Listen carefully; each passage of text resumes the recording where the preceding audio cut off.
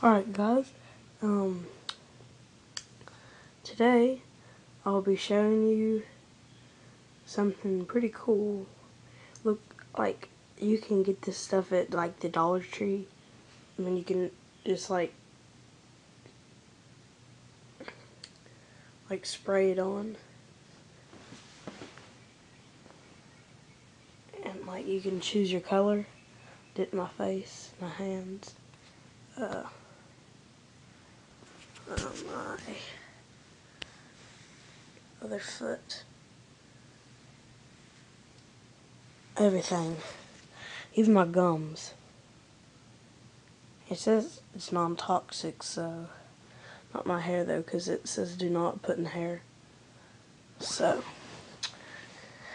and you just you spray it on, um, and so uh, it's only you can get it at the Dollar Tree. You can get like 50 cans for like I don't know how much, like real real cheap.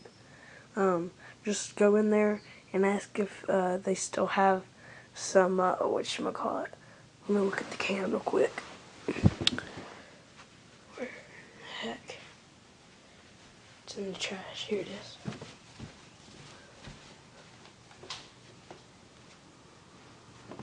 Uh. By the way, see, it'll reflect too. It reflects. See now, it looks green. You can get the reflecting kind. You can also get the changing color. I like the changing color, but it costs a little bit more. See, mine's reflecting the light. So, um, just see.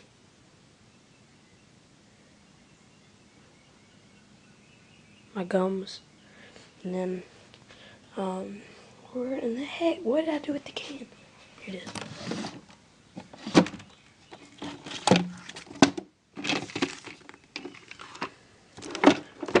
thought it was in the trash, but it ain't. Oh, never mind. I remember. Uh, it's called it's called Mighty Spray.